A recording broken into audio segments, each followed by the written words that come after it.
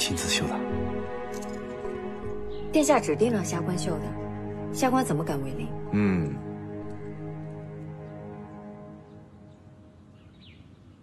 这、这、这是朝风。是。这么多吉祥的图案你不用，你用一个丑陋如狗的朝风，你这是讥讽本王。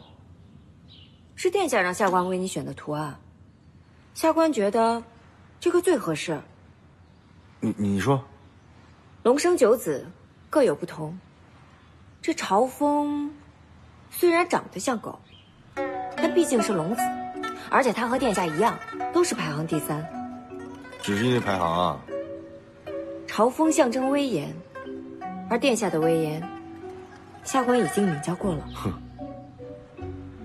朝风的威严是震慑妖魔的，谁是妖魔，本王就震慑谁。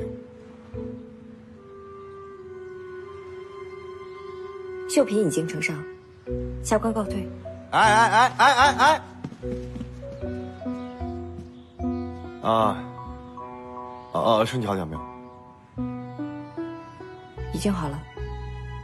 哎，看来本王亲手喂的药还挺管用。好了，不跟你开玩笑了。上次害你晕倒，本王也挺过意不去的。想要什么，说吧，尽管说。想要殿下以后不要再对下官呼来唤去了。做不到。那下官别无所求。真的，机会难得哦，就这么白白放过？下官也不是初次和殿下打交道，殿下的东西代价昂贵，下官要不起。